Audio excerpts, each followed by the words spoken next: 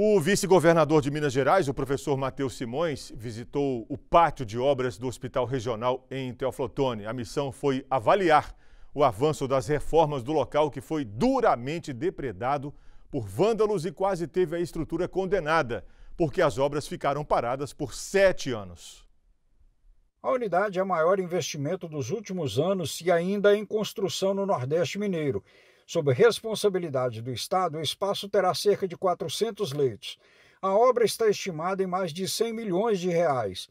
Matheus Simões percorreu parte das instalações e avalia o que foi destruído por vândalos devido à paralisação do projeto.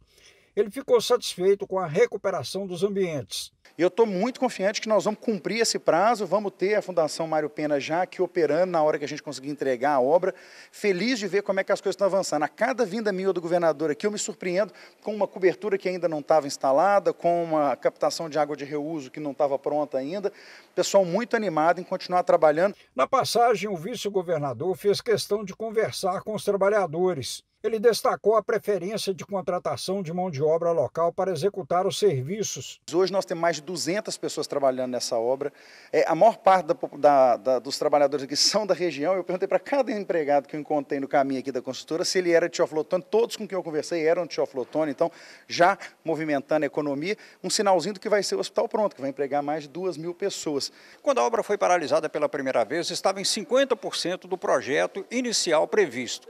Agora, se segundo os coordenadores do projeto, ele já atingiu 60%, ou seja, já um avanço real em relação ao que foi destruído. A arquiteta que acompanha a obra do Hospital Regional em Teoflotone diz que a recuperação do que foi destruído por vandalismo exigiu muito cuidado.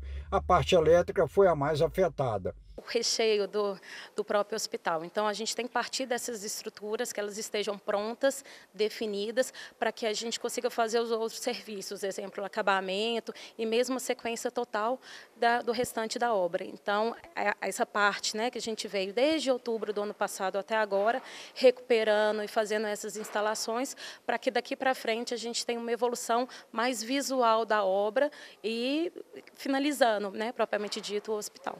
Com o prédio coberto antes do período de chuvas em Teoflotone, Débora espera que as atividades internas possam fluir em segurança. Em breve, os equipamentos do hospital começam a ser instalados. Outra conquista importante também foi a cobertura é, dentro do período seco, porque também a gente poderia comprometer o desenvolvimento da obra futuro se a gente não tivesse a cobertura finalizada. Então, exceto esses todos, a gente já está com 100% da cobertura finalizada e a gente não tem comprometimento agora do hospital. O vice-governador pede à comunidade em torno do hospital regional que ajude a preservar a unidade até a inauguração. Nesse momento de obra, temos gente aqui o tempo todo, a gente não tem medo de que haja vandalização agora. E é bom que a gente tem muita testemunha. Tem as casas aqui em volta dos moradores que têm visão do hospital no dia a dia para ver que as coisas estão efetivamente acontecendo.